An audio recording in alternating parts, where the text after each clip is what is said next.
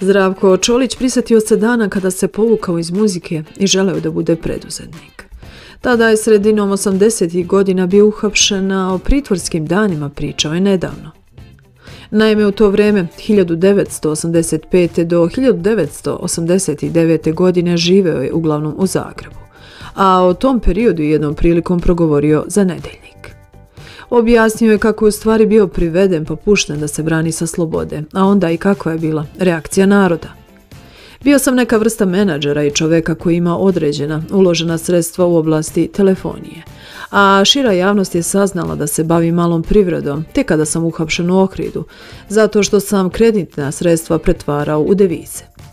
Devize je tada bilo jeftinije kupiti u Makedoniji nego u Beogradu i Zagrebu. Priča je Čolić pa na pitanje kako je to bilo iskustvo za njega, tada najomiljenijeg čoveka u Jugoslaviji, on je odgovorio. Bilo je vrlo neprijatno, ljudi su kupovali devize u tim albanskim selima.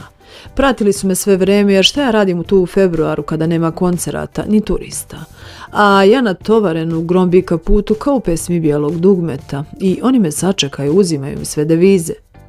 Kasnije Ante Marković uveo je legalnu kupovinu deviza i da sam sačekao samo 8 meseci ne bi do tog hapšenja ni došlo.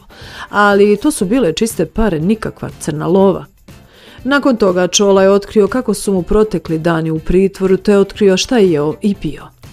Prvi dan sam bio u kancelariji kod načelnika. Poštovan sam, boda i pljeskavica, a onda sam poslat u hotel da prespavam, a ujutru bi dolazio na razgovor.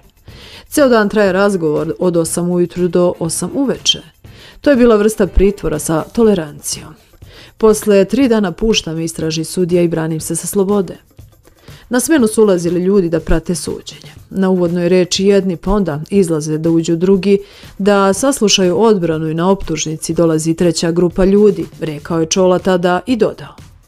Kada bi dolazili na suđenje, neki bi vikali krivije, osudite ga, a neki drugi bi vikali, gde ste osudili čoveka, pa svi mi kupujemo devise.